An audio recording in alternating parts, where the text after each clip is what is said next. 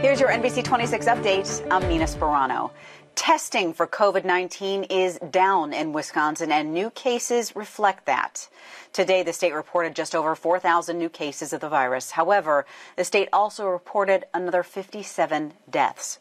The state is now nearing 4,000 deaths related to COVID 19 since the pandemic began.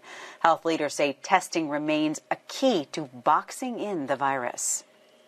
You may soon be able to buy a COVID 19 test kit without a prescription. The FDA has granted emergency authorization use for the LabCorp Pixel home test. If you buy the test, you collect nasal swab samples at home and then mail them to a LabCorp facility for testing. The cost of the test is $119. However, you can file with your insurance company. Today we learned more about preparations in Wisconsin. Leaders at Advocate Aurora say they have freezers ready to go throughout the system to store the vaccine for COVID 19.